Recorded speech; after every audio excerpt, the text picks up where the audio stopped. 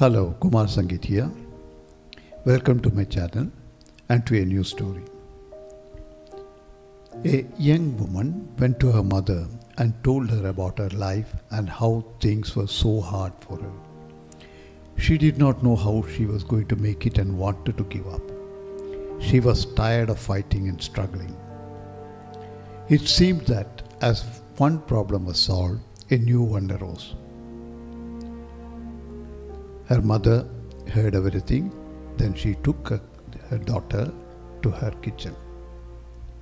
She filled three pots with water and placed each on high fire. Soon the pots came to a boil. In the first, she placed carrots, in the second, she placed eggs, and in the last, she placed ground coffee beans. She let them sit and boil without saying a word. In about 20 minutes, she turned off the burners. She fished the carrots out and placed them in a bowl. She pulled the eggs out and placed them in another bowl.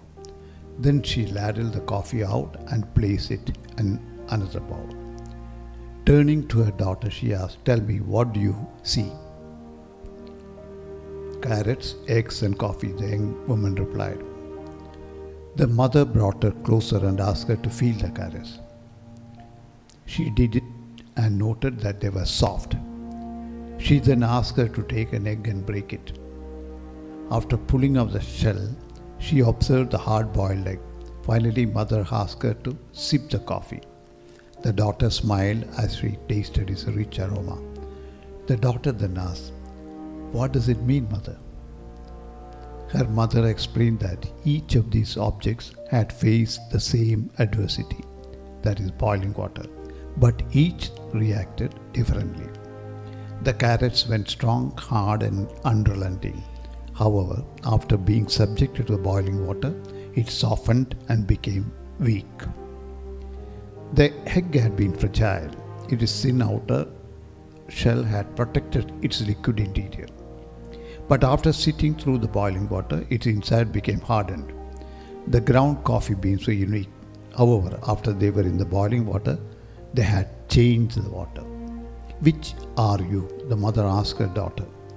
When adversity knocks on your door, how do you respond? Are you a carrot, an egg, or a coffee bean? Think of this which am I? Am I the carrot that seems strong, but with pain and adversity, do I wilt and become soft and lose my strength? Am I the egg that starts with a malleable heart, but changes with the heat? Did I have a fluid spirit, but after a death, breakup, or a financial hardship, does my shell look the same, but on the inside I am bitter and tough with a stiff spirit and hardened heart? Or am I like the coffee bean? The bean actually changes the hot water, the very circumstance that brings the pain. When the water gets hot, it releases the fragrance and flavor.